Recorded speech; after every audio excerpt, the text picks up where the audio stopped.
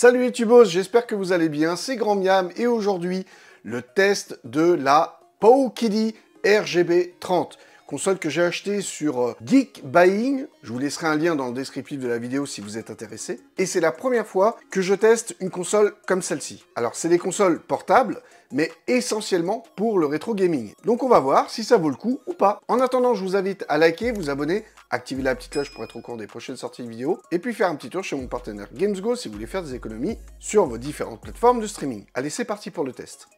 Dit drôle de nom, non Eh bien sachez que c'est le concurrent de Ambernic, grand fabricant de ce genre de console portable, console donc rétro gaming, qui vous permettront de ranger dans votre poche un peu plus de 10 000 jeux et bien plus suivant les cartes de ROM fournies avec. Les caractéristiques, c'est simple, CPU ARM 4 corps 1,8 GHz, 1 Go de RAM LPDDR4, un Wi-Fi 5, deux haut-parleurs 1 W, une batterie de 4100 mAh, une résolution d'écran de 720p, c'est du 1 pour 1, carré donc, LCD 4 pouces, elle dispose d'une sortie TV mini HDMI et de deux ports USB-C, dont une a le support OTG. J'ai acheté cette console sur Geek par curiosité, vous me connaissez maintenant, mais aussi parce que je voulais découvrir ce que cela pourrait apporter à ceux n'ayant pas les moyens de mettre plus de 70 euros une machine. Surtout uniquement dédiée à l'émulation de consoles rétro, plutôt que de dépenser 300 voire 400 euros dans un Steam Deck,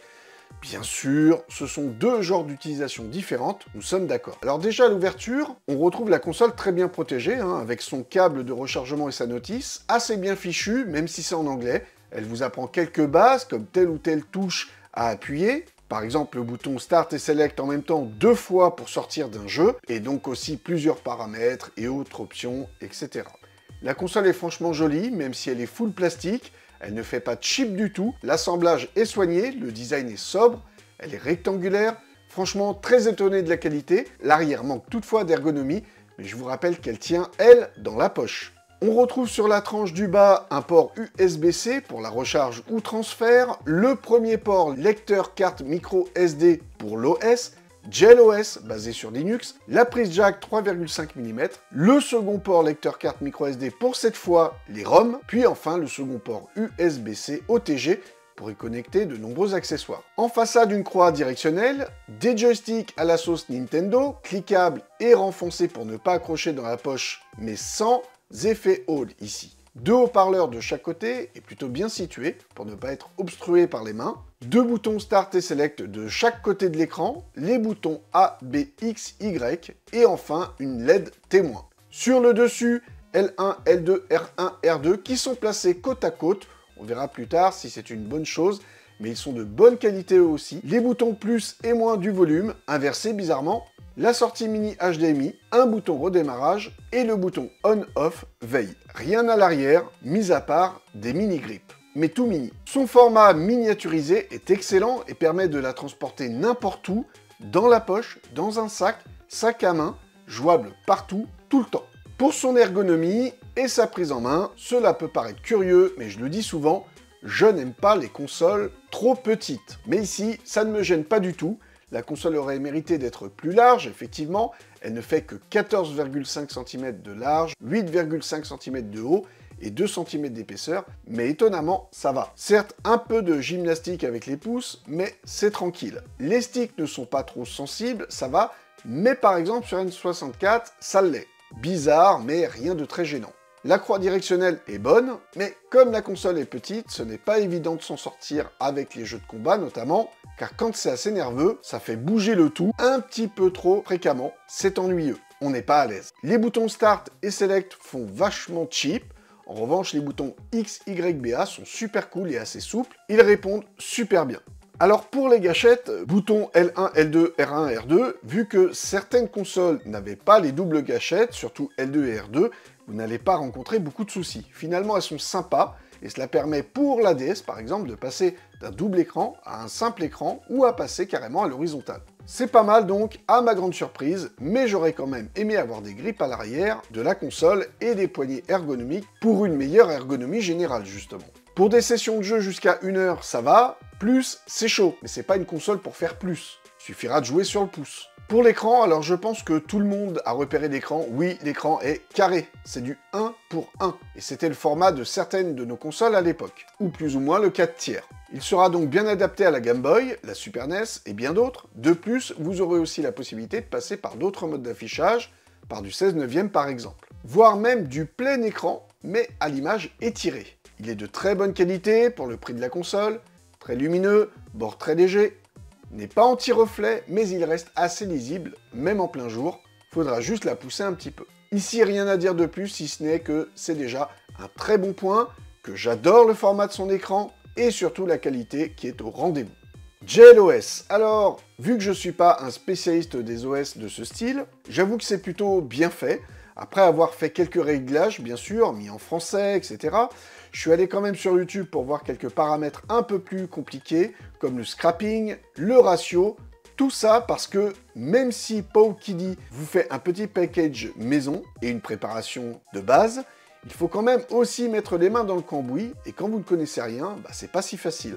Bref, après tout cela, je trouve que c'est assez simple à prendre en main, après quelques visionnages de tutos toutefois. Rien d'insurmontable donc. Par contre, les bugs en tout genre sont présents et rendra l'expérience trop instable et parfois désagréable. Manette branchée sur OTG non reconnue, jeu qui ne se lance pas une fois sur 4 sur 5, la sortie HDMI est très mal gérée par l'OS, etc. Bref, il y a encore du taf. Tous les jeux sont sur une carte microSD, c'est assez simple d'en ajouter, d'en supprimer, de les déplacer. Il vous suffit de mettre votre carte microSD dans votre ordinateur et d'y glisser tous les fichiers ROM de console correspondant à vos systèmes, sans oublier de mettre à jour la liste de vos jeux une fois revenus sur la console et de scraper. Je vous laisse regarder plusieurs tutos là-dessus, mais en principe, il faut ouvrir un compte sur le site Scrapping et puis remettre son compte dans la console pour pouvoir avoir les jaquettes, etc. Bon, bref, c'est pas obligatoire, mais si vous n'avez pas de présentation de vos jeux fraîchement installés, bah c'est vraiment dommage. Ça sera pas très harmonieux.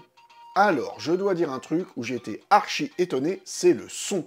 C'est la surprise absolue. Le son est presque meilleur que la Legion Go. Il est assez puissant, clair, net, précis. Alors ça manque de basse, évidemment, mais il est vraiment super sympa.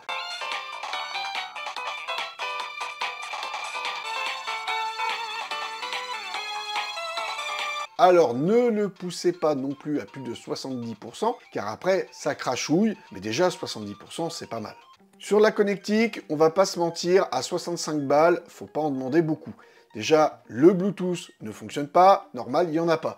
J'ai essayé quand même de brancher une manette Xbox, impossible, une manette PS5 non plus, rien, nada, que dalle, bref, ça, c'est naze. Le Wi-Fi fonctionne pas trop mal, notamment pour les mises à jour et scrapping, mais alors impossible d'utiliser Moonlight. La faute certainement ou Wi-Fi ou pas, je ne sais pas, mais chez moi, j'ai aucun souci de connexion avec tous mes matériels informatiques, téléphone, etc. Et j'ai réussi facilement à brancher toutes mes consoles portables. C'est très curieux. Et parlons donc des performances, justement. Alors déjà, Moonlight, c'est mort, hein. comme je vous l'ai dit. Ici, pas de stream gaming possible. Première déception. Ensuite, les consoles émulées. Alors, de la Game Boy, en passant par euh, la Master System, la Super NES, Game Gear et autres systèmes 16 bits, no sousai. Je pourrais vous faire une longue séquence de gameplay, mais franchement, je pense que vous avez dû en voir suffisamment sur internet pour vous rendre compte qu'on n'a pas besoin de patates en barre pour fournir du framerate de haute qualité, de 8 à 16 bits bien sûr, tout passe bien et heureusement. Les 1 Go de RAM seulement sont utilisés essentiellement pour ces systèmes de jeu, il le fait bien, le processeur aussi, il va même faire quelques prouesses sur les jeux PlayStation première du nom, où par exemple un Gran Turismo va passer vraiment crème. Et ça, c'est génial. Mais là où ça commence à devenir difficile et où l'on verra la limite de la configuration proposée, c'est sur certaines machines comme la PSP, avec deux jeux sur 5 qui passent honorablement. Mais sachez que souvent ce sont les jeux les moins populaires, les moins gourmands, et pas ceux qui vont intéresser forcément la plupart des joueurs de la console de Sony portable. Et c'est là ma seconde déception. Alors pas trop grosse déception, mais quand même. C'est que passer au-delà des 16 bits, la Dreamcast, N64, Saturn, eh bien c'est très aléatoire la façon dont les jeux vont passer. Crazy Taxi 2 passe assez bien, malgré tout, par exemple, mais certains autres jeux crashent, font du 20 fps, RAM, lag, le son décroche, ou bug beaucoup trop pour avoir une expérience de jeu convenable, et c'est dommage parce que, évidemment, je ne pensais pas jouer à des jeux Wii U ou Switch, avec une console à ce prix, mais jouer dans des conditions décentes au moins jusqu'à la Dreamcast. Alors, est-ce dû à l'OS mal optimisé, aux caractéristiques trop faibles, à mes attentes trop grandes pour une si petite console J'en sais rien. Petit mot vite fait sur la chauffe et ventilation. C'est simple, quasi aucune chauffe et bien sûr aucun bruit de ventilation. Il n'y a pas de ventilateur. Sur un moniteur ou TV, vous pourrez retrouver toutes les sensations de l'époque, mais en plus grand.